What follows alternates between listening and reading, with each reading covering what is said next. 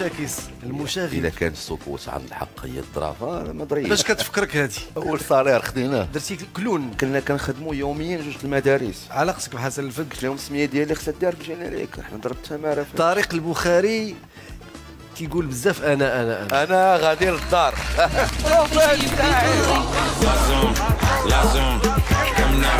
اللي بقات لي أمي حية الحمد لله يخليها ويطول عمرها. تعزيز على الساحه سمعت شي راس راس شي راس راس جيت بجرية من حي المحمد طارق البخاري سبق وخرج شي بتصريح مثير للجدل. حبا في هذه البلاد ما خصش شي حوايج يكونوا. سبق وتعرضتي لحادثة سير خطيرة.